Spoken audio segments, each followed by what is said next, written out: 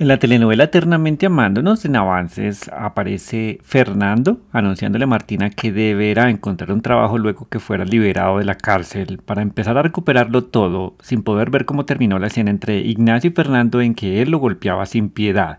Pero una cosa curiosa es que vemos a los dos como si fuera la antigua mansión y yo pienso que hay algo mal con esa escena porque no parece ser del todo real. ¿Lo será? Más adelante la tía Olimpia busca hacer entender a Gabriel que ella sí tiene supuestamente buenas intenciones, pero Gabriel le recuerda que la venganza nunca es buena, en que se supone que no solo va a perder esa batalla, sino también mucho dinero.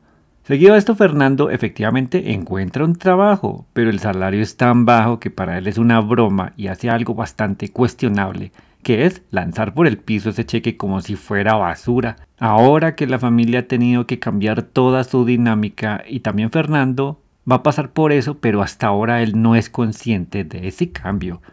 A continuación, Ignacio confronta a Cecilia por el bebé enfrente de una institución para mujeres, pero Cecilia le confiesa que ya no hay bebé. Entonces no sé si Ignacio se va a poner peor o se va a calmar.